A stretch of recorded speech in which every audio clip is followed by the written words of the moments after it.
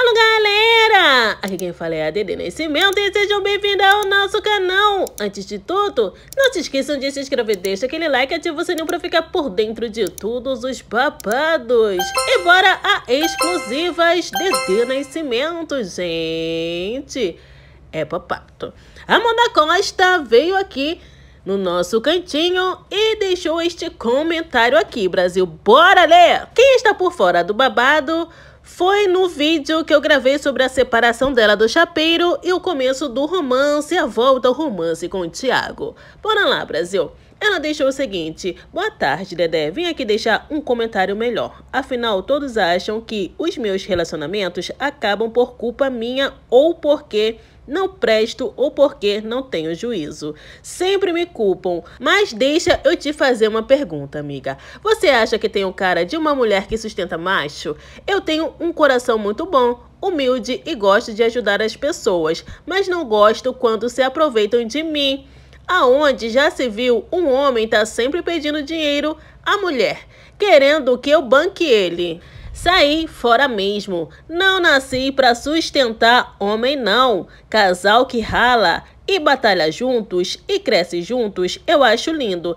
Agora, para um homem tá no meu pé, direto pedindo dinheiro, igual rapariga, sai fora. Então é isso, gente. Se o motivo do término foi realmente porque o cara, papato, gente, queria se encostar na Amanda, como muitos maridos de YouTube que a gente vê por aqui que acontece mesmo real. Tá certo, tá certo. Não tem que sustentar mesmo, não. O homem que vocês têm que sustentar é seus filhos. O resto que lute, né, gente? Pois é, né, rapaz? Pense num babado forte. E sobre, gente, a volta da Amanda com o Thiago. Muita gente deve estar na dúvida, gente, será o que aconteceu? Será que Thiago se separou por causa de Amanda? O que que rolou, gente? Ou eles estavam, né, se relacionando enquanto Thiago estava no relacionamento? Pelo babado que eu estou sabendo, gente, a Amanda e o Thiago estão juntos sim, mas ele já estava separado. É, gente, se estava separado não tem mal nenhum, né? Se um estava separado e o outro também, tá tudo certo, né, gente? Não pode ter relacionamento com a pessoa comprometida, né, gente? Aí não pode. Então, bora aguardar as cenas dos próximos capítulos, todas as partes envolvidas, todas quem quiser contar sua parte do papado, pode vir aqui, porque vocês sabem que Dedê não é, não é dessas não, tá? Eu conto o que o povo quer que eu conte, né, gente? Vem aqui, deixa o comentário, tô lendo.